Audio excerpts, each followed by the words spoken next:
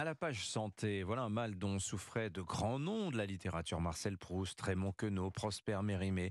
À leur époque, l'asthme était rare. Aujourd'hui, il touche plus de 4 millions de Français. Oui, de plus en plus de cas à cause notamment du réchauffement climatique qui nous expose davantage au pollen et renforce les maladies pulmonaires comme l'asthme, dont c'est aujourd'hui la journée mondiale. Mais qu'est-ce que l'asthme exactement? C'est le tuto de la rédaction d'Europe 1 avec Guillaume Dominguez. Eh bien, l'asthme est une inflammation des bronches qui entraîne des difficultés pour respirer. Certaines particules présentes dans l'air, comme la poussière, le pollen ou la fumée du tabac par exemple, irritent les muscles très fins qui actionnent les bronches et les fait enfler. Du mucus se forme et c'est ce qui déclenche la crise d'asthme. Elle se traduit par de la toux, des sifflements, voire dans les cas les plus graves, l'impossibilité totale de respirer. Chaque année, plus de 900 décès et 60 000 hospitalisations sont liées à cette maladie en France.